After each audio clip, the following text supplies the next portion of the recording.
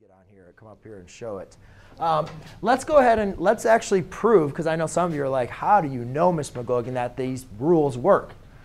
So let me prove it with one of these rules. All right. What if I said log base 2 of 8 plus log base 2 of 32? What if I said to do that? Well, you guys would know by um, uh, no, I don't want to do it that much.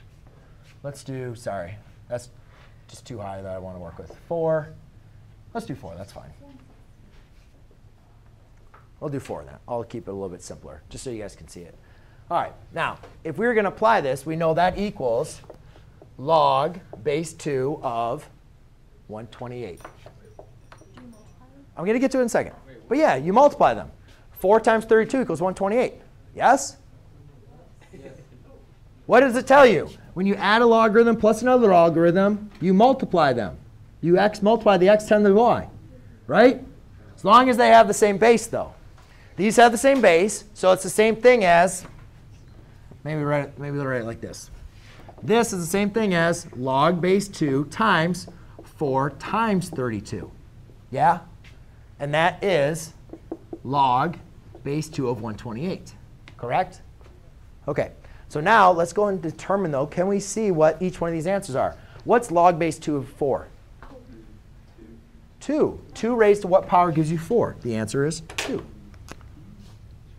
Plus log base 2 of 32, which is 2 raised to what power gives you 32?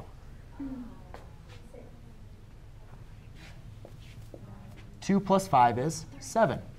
2 raised to how many powers gives you 128? 7. So do you guys see, do you see how that works? OK, so now let's do your problem, what you were saying. So you said, Ms. McLogan, what if the bases aren't the same? So let's, do, let's make it easy. Log base 2 of 4 um, plus log base 3 of 9. Right? So if we were to apply this, now first of all, we have a problem. What base are we going to choose? Right? Because when you condense these, you only write them as one base. So what base are you going to choose? 2 or 3? 2? Well, let's go even figure our answer. 2 raised to what power is 4? 2. 3 raised to what power is 9? 2. And then, and then anyways, even if you added these, you would have log base whatever you want to equals 13. So this equals 4. So are you going to, you know, what number are you going to raise to the fourth power that's going to equal 13? Do you see how that just like doesn't compute or work? You have to have the same bases for you to apply this rule. If you don't have the same bases, what base are you going to choose? Wait, you add 9 and 4? Oh, you multiply. Yeah, you're right. 36. OK, sorry. Thank you. I don't know what I was doing. You're adding 36. You're right.